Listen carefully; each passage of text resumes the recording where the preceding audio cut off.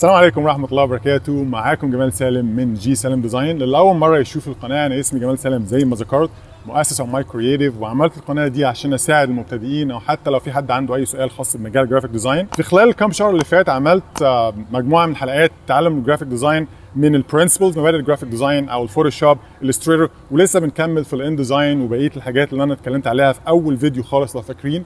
إحنا لسه مكملين ولكن دلوقتي فكرت إن أعمل حاجة جديدة أو سلسلة حلقات جديدة. السبب لدوت إن جالي أسئلة كتير جدا من ناس كتير جدا عن حاجات مختلفة ومش كل الأسئلة إن أنا أقدر أعمل عنها tutorial أو حاجة عن الكمبيوتر فلازم أكون على الكاميرا أشرح إجابة السؤال والسؤال دوت مين اللي قاله أو اتقال إزاي وكده. فقررت أعمل مجموعة الحلقات دي. فالفكرة بكل بساطة هتكون دي سلسلة حلقات قصيرة Q and A سؤال وإجابة. قررت أسمي سلسلة الحلقات دي عيشها تفاؤل لأن بالتفاؤل كل حاجة ممكنة. واللي متابعنا قبل كده ملاحظ إن أنا في كل أو في نهاية كل حلقة بقول عيشها تفاؤل. أنا بقول ده السبب لأن من غير تفاؤل الحياة ملهاش أي معنى. أنا مش هنا بدي وعظ أو بديك حاجة تحفيزية.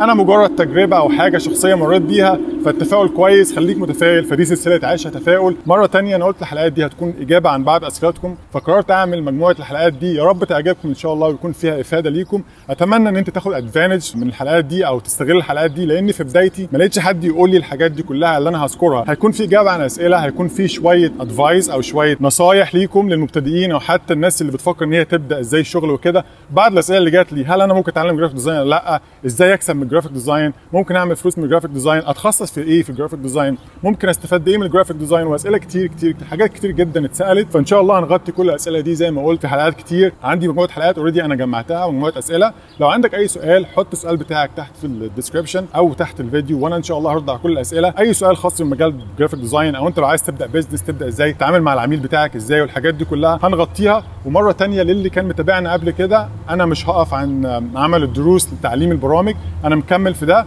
ولكن مع برنامج أو مع تعليم البرامج هعمل برضو الحلقات الصغيرة دي بحيث إن أنا أقدر أساعدكم إذا عرفت بأي طريقة ممكنة. مرة تانية أنا جمال سالم ودي قناة G Salem Designs أتمنى إن شاء الله المحتوى اللي هنا يعجبكم. اشوفكم الحلقة الجاية مع أول سؤال. بس قبل ما أمشي من هنا دلوقتي أول نصيحة ليك. لو أنت عندك حاجة في دماغك أو عندك فكرة وعاوز تعملها إذا كنت أنت هتشتغل في مجال التصميم أو عاوز تعمل tutorials على اليوتيوب أو عاوز تعمل أي حاجة لو عندك فكرة ما تأجلش الفكرة. بمعنى إيه؟ يعني أنا عندي مثلا أنا بستخدم التليفون بتاعي ال- السماعه بتاع التليفون أسجل منها المايك لأن ما عنديش wireless عملت order من الأمازون ولسه ما جاش. فأنا لو كنت قلت لنفسي استنى شوية لغاية ما يجي آه، المايك والحاجات من دي هأجل الموضوع احتمال ما يتعملش. فالهدف هنا أو النصيحه من هنا أول نصيحة تاخدها لو عندك أي حاجة أو أي حاجة في دماغك أي هدف أو أي فكرة في دماغك ما تخليهاش فكرة. خد اكشن يعني اتحرك على طول بكل الحاجات المتاحة عندك وما تيأس. وبكده تكون انتهت المقدمة من سلسلة الحلقات دي. أتمنى إن شاء الله مرة ثانية يكون في إفادة ليكم. شكرا على المتابعة. كان معاكم جمال سالم. عيشها تفاؤل. وأشوفكم الحلقة الجاية. في أمان الله.